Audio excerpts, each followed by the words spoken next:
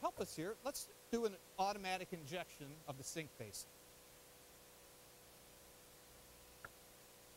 So what we have is the PRG is in the automatic mode. So the automatic injection screen is showing right on the front console.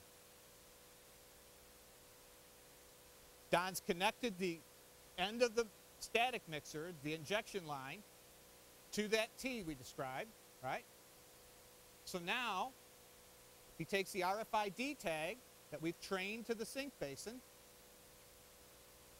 puts it on the antenna. This is all the operator does.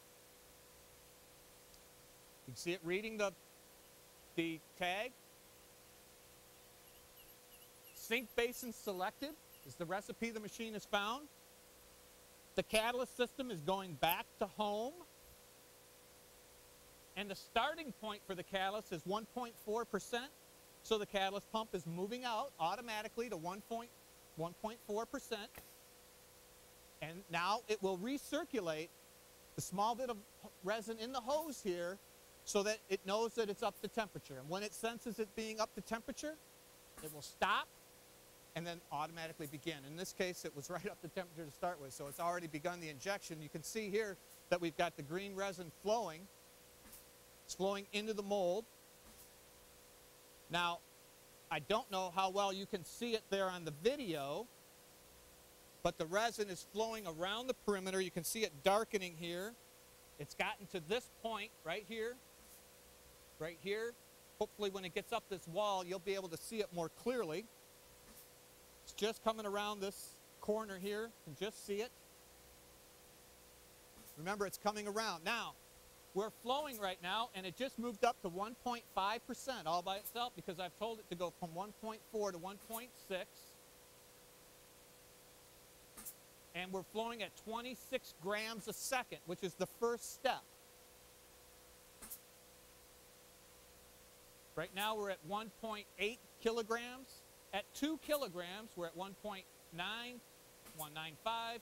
At 2 kilograms, going to stop. Here it is, 2 kilograms. It's going to reset its flow rate to 22 grams a second and then begin ramping up again. So here we've got a stepped flow rate to illustrate just how you do that. Now, mind you, on a mold this size, we probably could fill generally no more than two steps. I have this set for three, but I wanted to slow things down, give us a chance. Now, if you look carefully, you can see the resin coming right across here. So we've filled all around the perimeter, and we're coming up this wall. We're right here right now. And that'll continue all the way around and continue to follow until it all falls and chases right up to this vent. So let's continue to watch that. We're at 2.9456. We're at 3 kilograms. At 4 kilograms, we're at 3.2 right now. At 4 kilograms, it's going to stop again and put in 9 tenths of a kilogram at 10 grams a second, just to show the effect of running a bit faster, then slowing down in a step, and then right at the end, the last percent of resin that we wish we have it flowing in at just 10 grams a second. Those of you that can see it, I'm hoping it's showing up in the video. We're now up to this area. We've got a spot about this big around, all converging right here. We're just starting up this one sink basin drain port here. It's going to, remember, it's going to go over all that, but end up the top of this drain port is the final. Now there we are. We're at four kilograms, and we've just now switched down to 10 grams a second. So here again, this enables us to fill rapidly, then slow down a bit, and then creep the last bit. The whole idea is to prevent from opening the mold. That's what's critical. We want a uniform cavity. We spend umpteen hours building an accurate tool. What we don't want to do is spread the tool open from hydraulic resin pressure. All right, you can just see there, we've now filled. In effect, although we're running automatically, we could stop even before that. We've got 4.4 kilograms so we know that we could pull another couple hundred, kilo, uh, couple hundred grams out of this injection process. Still getting a couple points of air there at that moment. Uh, but frankly, we're at 4.55, 5.6. This will stop at 4.9 kilograms. So we'll watch that in a moment here. We'll be ready to stop. 4.68. Remember, we're creeping in. We're at 10 grams a second right now, which is a very low flow rate. Now, we've made surfboard fins flowing at about 2.8 grams a second, but normally we wouldn't be flowing at around 10 grams a second. Again, this was done for illustration of this. And mind you, it has along this path bumped itself up to 1.6% catalyst. Okay, injection is complete, 4.91 kilograms of resin, and we're ready to simply flush. So you want to go ahead and just bend that tube. Now, Don left the, the RFID tag on all the time. Really, it only needs to be in place during the initial start.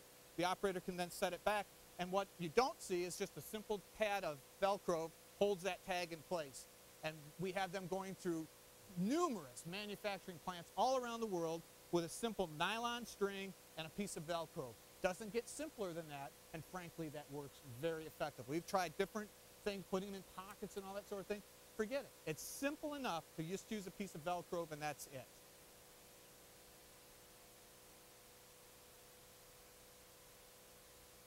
Okay, now remind you, if we had an automatic valve, an Avis valve on here, in fact we wouldn't even be here right now, we could be on doing something else, the machine would have automatically flushed. But because we've got the gun in a situation where it could be going on and shooting another part, or in this case, needing to be flushed, all that he needs to do right now is push one button there you're getting air, and that air is pushing the bulk of the resin that's in that mix head and static mixer out, cleaning it out, minimizing the amount of solvent. In this case, that's controlled 12 seconds. Now here's your three second shot of solvent, followed by 15 seconds of cleaning air. Now those values can be preset, pre-programmed to different amounts. Maybe you want more cleaning air in the beginning, a bit more solvent, but we minimize the amount of solvent now that gun, if we take it apart, is spot clean inside.